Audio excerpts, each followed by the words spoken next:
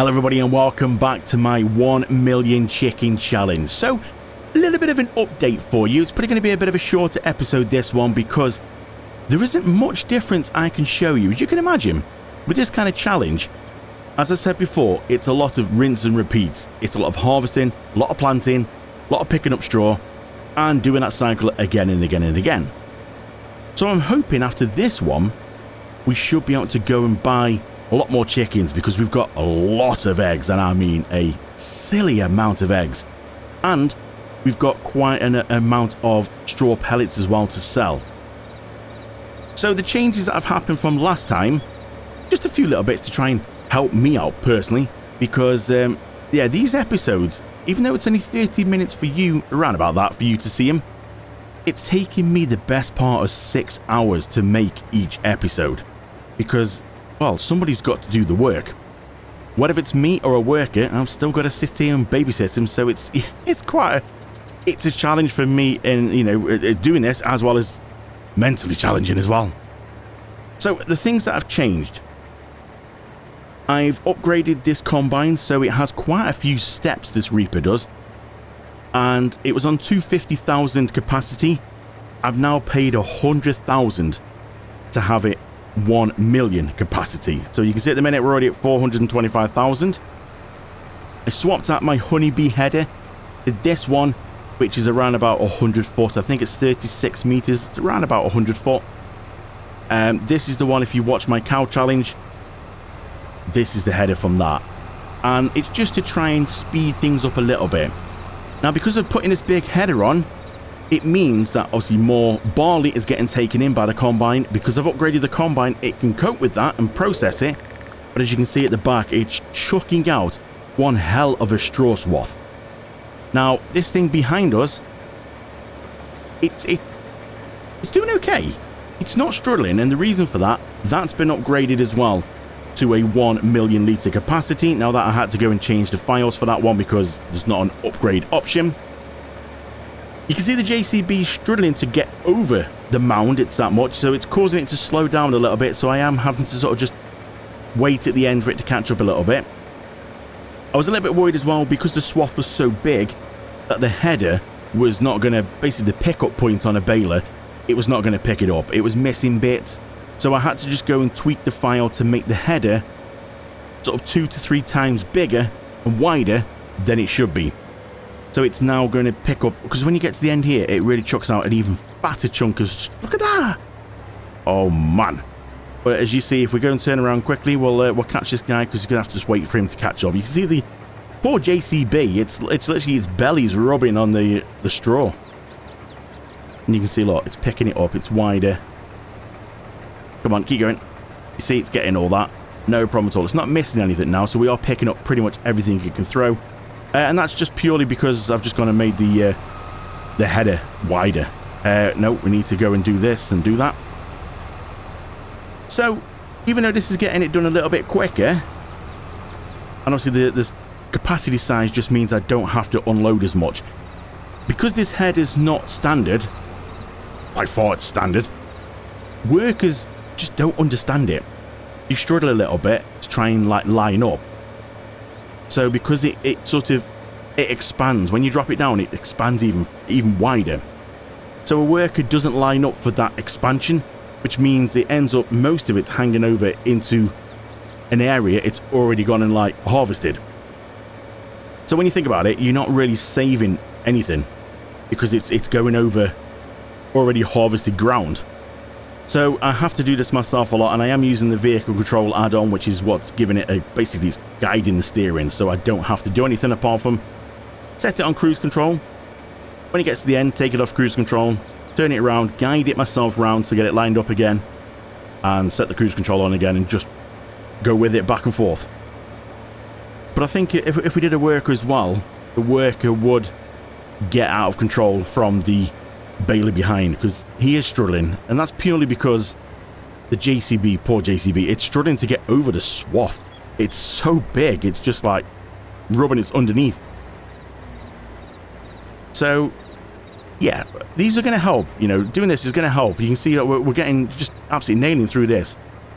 You can see the poor JCB there, it's struggling a bit. So I have to wait a little bit, otherwise the follow me mod will sort of detect we're too far away and it will just stop. So it's not doing too bad. Got another worker as well as you can see actually planting. So literally as we're going, a worker's only a few sort of rows behind, putting barley back in again. Because we just need to turn and burn with this. This is all we literally can do. So there you go, we open it up. It's spread out to its full width now and we can carry on. Cruise control back on and we go for another pass. So this, this has been my life, this has. These challenges are good fun. I, I like to see the outcome and I didn't expect to see the overwhelming amount of uh, eggs already without having more pastures or more coops. We've not even got a full two coops yet and we're just getting swamped with eggs. So yeah, it's, nice to see. So time consuming. To think how many episodes I could have done from a normal Let's Play in the time it takes to do each one of these. So um, I do appreciate your patience, and I know they are spaced about a little bit. At the minute, it seems to be running on Tuesday and Saturday. Uh, if you're members, while I am sort of throwing in a Clarkson's Farm series on for the members as well. But yeah, I, I really can't add any more videos into my week with working full time and everything. I just I can't do it. So I'm trying to keep up to this sort of two a week if I can.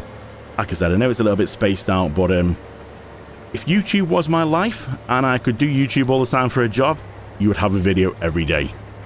But unfortunately, I'm only a little channel at the minute, so uh, if you want to help me out, please hit subscribe. I am so close to my thousand uh, subscribers as well, so I can nearly fully monetize my channel. So if you want to help and you're watching this and you're not subscribed, please just hit that button. If you don't want to see any more videos from me, you can just click mute, but just hit subscribe. I would appreciate it. So we're just going in for our first empty den of the combine and the uh, baler behind. It's not quite full, but I don't want to be the other end of the field. And it feels like I'm on a bit of a time race here with uh, the worker that's behind planting because um, if they get too close, yeah, we are in trouble. Now, this has also been modified as well. Just keeping up with the things that have been modified.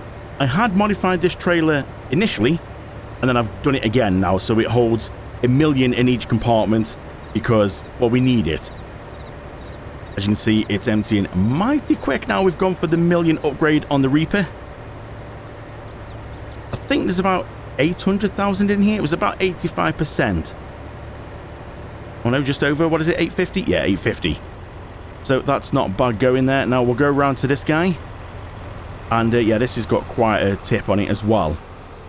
So if we just go and try and get this lined up here on this side. Don't want to get too close. I think I might have to move that because there's a good chance. Let's just go and sack work it. We'll turn that off for a second because it's quite noisy. Well, that's a glare from the sun into of that inside there. Right, I think this is probably going to nudge the trailer, but I'm hoping it will not tip it over.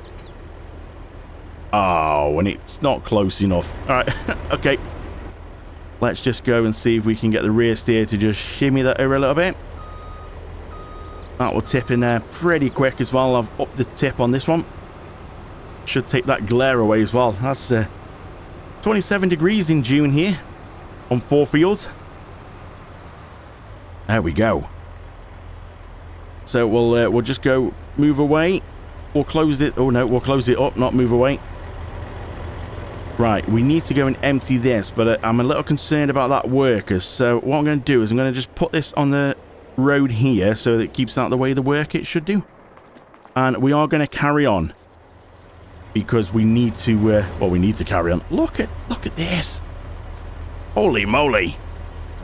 No wonder that JCB struggling. Look at that, it's right. It's proper like, hmm, balls deep in straw. I'm so glad that I did sort of add a few more inches, so to speak, on the uh, on the baler because um, yeah, it just it just wouldn't cope, would it? So we'll do this, we'll do that, we'll press this one, and it should hopefully follow the Reaper. Sorry, that's the vehicle control add-on that keeps bringing it, springing it back into place. We got a person in there? Oh yeah. So that's on, that's on. I think we've done right. Let's jump in here again now. We'll act activate that again. We'll bring that back in. We'll open that up again. And away we go. If I've done it right, the workers should be following us. Are you following us worker? Yeah, you are. Are you picking up the straw? Have I done that right? Yep. We're all good. We'll go to full size, we'll turn this on, and we'll set cruise control. And I'll see you in a little bit. So that's one field finished off, and in here we now have a million litres of barley and a million litres of straw pellets. So we're going to bring it back to the silo here. We're going to tip them off. Which compartment are we on first? Looks like straw pellets. Let's swap that across to the front. And uh, yeah, away we go. We'll tip that in. So what I've been doing with this then is I've been using the sorghum. So we did all the wheat. I've used the sorghum now to sort of top up the chickens. And then we'll come back and we'll sort of start on the barley. So just getting rid of the other ones after we did our initial little test. Now you might see as well, there was something here. It was a buy anything point where you could literally buy anything. Well, I got rid of it for safety because I might have made a bit of mistake and I bankrupted myself. So what I did is I put it here just in case when we get a bit further on we need help with buying some barley. Well, I thought I saw a seed production which I put here and I thought, you know what? Seed production, it says you can use wheat or barley to make seeds. I thought, well, maybe buy another field, put some wheat in, use that to get seeds because the planters are getting through a lot of seeds and it's quite expensive because the sheer capacity of the seeds I have to buy. So I thought, yeah, you know, that's a good idea. Just going to test it out a bit and use this thing here just to buy some wheat because I hadn't got any at the time. Just to see, make sure everything works okay, that it, you know, it, it all does what it's meant to do and stuff like that. Yeah, I kind of forgot one thing, didn't I? I when did they when did they come on? Must have put that on by accident. I kind of forgot this buy anything point is what I used on my cow challenge.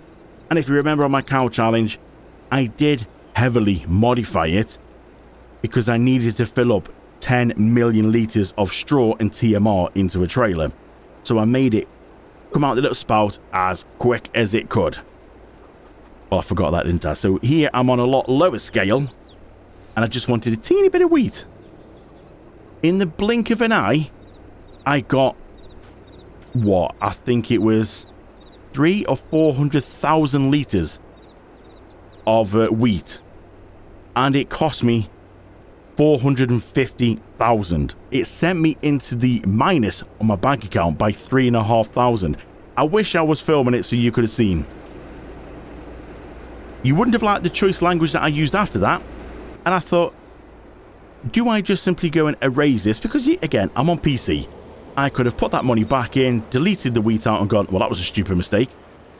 But no, me be me, I ran with it. I thought, you know what, all right, it just cost me 450000 for this um, this wheat to turn into seeds.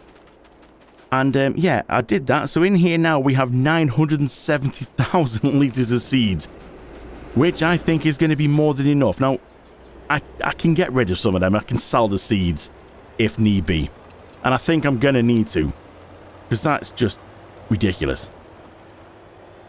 Now, the, the, there was sort of double the seed ratio to wheat. So wheat in, uh, I can't remember what the quantities were, but so much wheat in, and it was double out of seeds. Hence why I've got a lot more. Right, let's just go. Actually, you know what? We've still got... I couldn't fit everything in from these guys, but at least this one field is done. So I don't have to worry now. Oh, I've got to be careful now because of the uh, it's going to fill up both compartments. So I don't have to worry about the worker now. The worker can crack on because there's no feel that they can like go over the straw. Oh, I'm still... You wouldn't think that I, uh, I drive uh, trucks for a living, would you? Okay, here we go. Fully qualified on the rear steer ones as well. So we'll get all this in. There's not much left, but we'll get it in. And then we'll go put the rest of this in the front one. There we go. So I think now it's time to go and have a look back at the yard about selling some straw pellets so we can buy some more chickens and maybe some eggs as well. So I've just gone and set this trailer to its 5 million litre capacity so we can get all this in one hit. Now we're going to put, actually before we do that, let's just have a look at what my stock checker is telling me we can get for the straw pellets, just to make sure that they are a good price. So the price is on the way down just a little bit. You can see this one highlighted in blue as the straw pellets, 2.1 million litres, nearly 2.2. So in the minute, they're going for £508 per 1,000 litres. That would give us a 1.1 million return if we sold them now. Best time is in Jan, giving us 1.3. Now, we are losing couple hundred thousand there. Uh, but the problem is, wait until Jan. I j nah, you know what? We, we are getting so many of these. I think we're just going to go for it now. We're going to take a little bit of a loss because we've got another field to do, which will be... What would it be? Potentially, what, another million?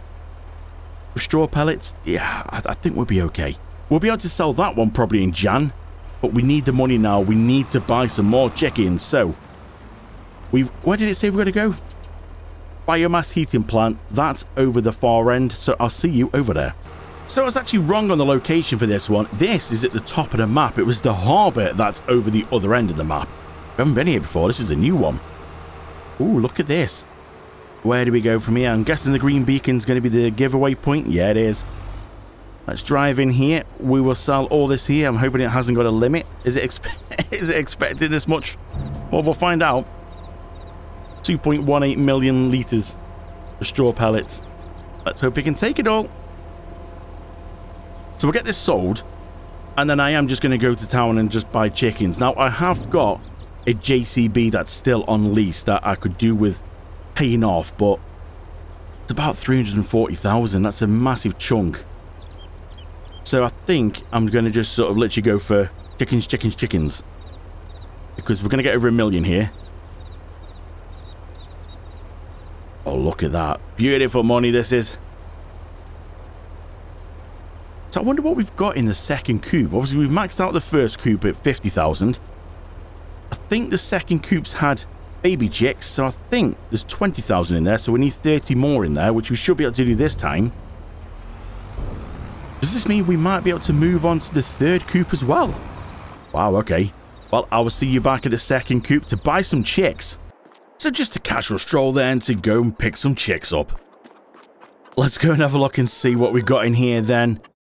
Oh, 20,000. All right, well, let's just go buy another two. Yes, and another two, and another two. Can we get to 30,000? Yeah, we can. How many does that leave me with? Ooh, that's just took a nice chunk of money, that. Oh, okay. Uh, oh, workers doing well on that one. That's good. Let's just go back in and see. Uh, see, we could potentially leave it there, and then they will we'll have babies. If we're going to look in here, it should tell me when the next... But, oh, I can, I never fit through this door in one go. Ladies. So, offspring in two months. So, two more months, so we'll get some more. So, problem is, I'm buying adults, which means we're going to get eggs straight off. If the...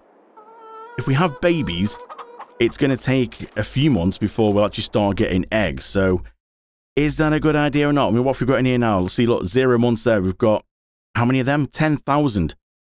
It's zero months. Well, as far as I know, yeah, it says there, they've got to get to six months before they can reproduce. So I don't think we're going to get any eggs until after six months. So their eight months were okay. They've just got to six months. But you can see, reproduction health, it's all really low because it's now got to start building, which is when we should start getting eggs. I do believe I'm not well up on me chicks. So, so do we just, do we get some more?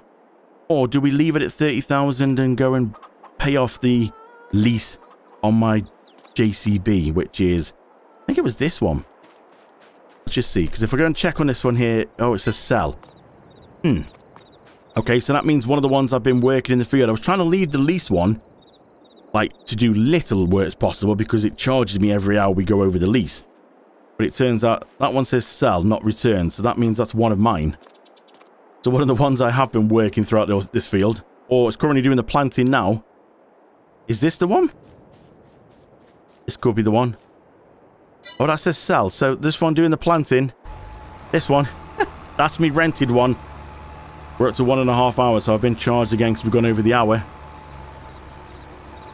Do we go and buy it outright or not? Or do we carry on with the chicks?